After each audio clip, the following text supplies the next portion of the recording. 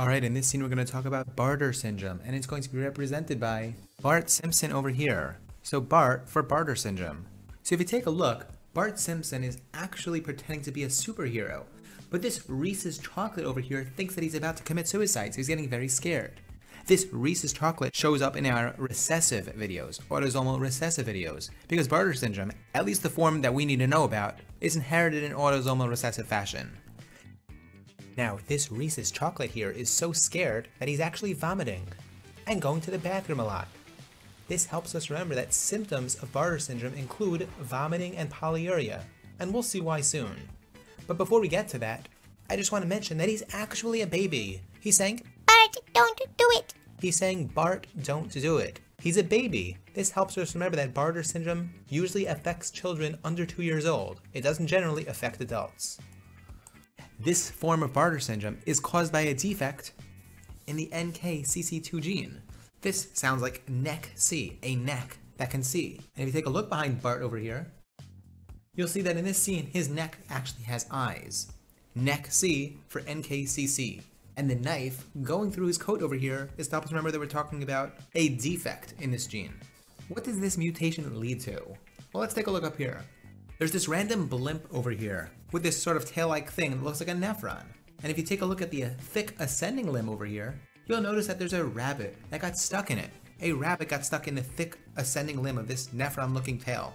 This is going to help us remember that the mutation in Bartter syndrome leads leads to a reabsorption defect. Rabbit for reabsorption. I know it's not a great connection, but it sticks. Reabsorption defect in the thick ascending loop of Henle.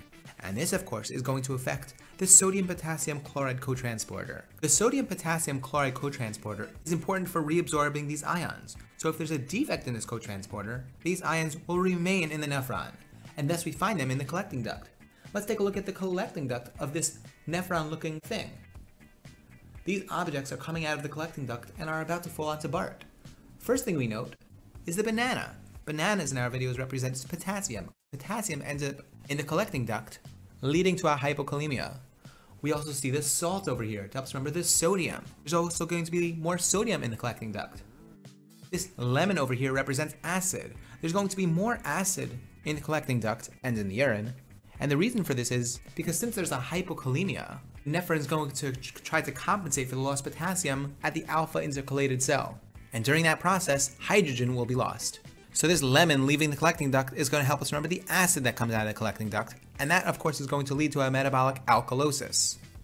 And finally, the cheese over here, cheese in our videos represents calcium, is going to help us remember the calcium in the urine, the hypercalciuria.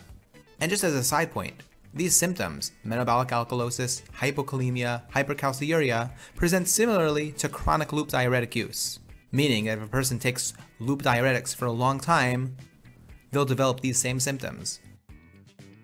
And of course, the Waldo stone over here, or the Aldo stone for aldosterone. Aldosterone, as well as renin levels, will be increased in Bartter syndrome.